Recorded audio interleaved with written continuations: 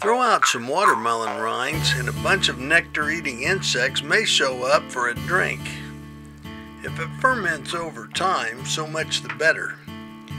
Bugs with a taste for sweet juice are attracted to the malty scent of alcohol and they often get drunk on the buzzy syrup.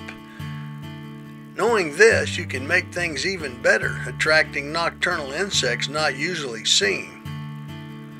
You can set up your own bar for bugs. Mix half a cup of stale beer, a few cups of white sugar, several tablespoons of molasses, and a mashed up banana, and then allow the mixture to brew for about a day. The goo should be about the consistency of thick syrup.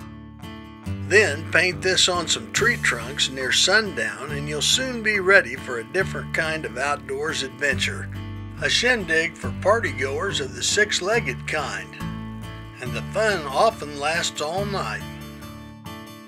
After dark, summer night flying moths and beetles smell the concoction and come to feed. Certain flyers, some of them quite colorful, are seldom seen except for using this trick. Not all insects respond, but it's a great way to collect and observe the ones that do.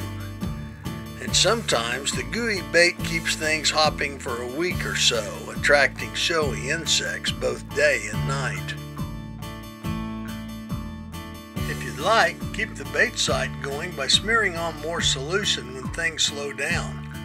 Sometimes you'll be rewarded by exotics like eyed click beetles and the big underwing moths.